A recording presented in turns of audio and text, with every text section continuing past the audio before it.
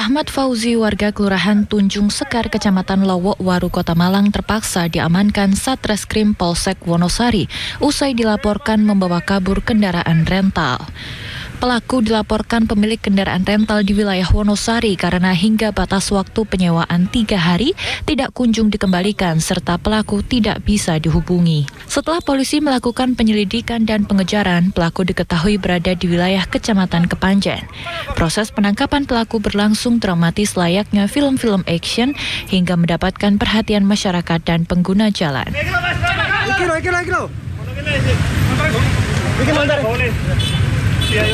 Menurut Satpam di sekitar lokasi penangkapan, pelaku yang menaiki mobil dihadang anggota yang berkendara dengan motor.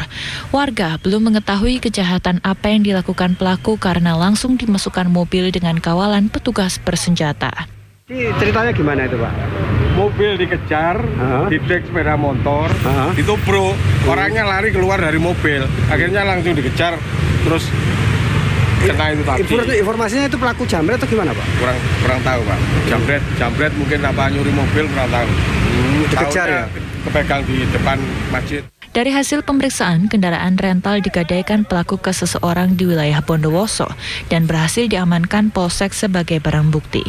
Atas perbuatannya pelaku dijerat pasal 378 subsidiar 372 KUHP dengan ancaman hukuman 4 tahun kurungan penjara. Hairul Anwar, CTV.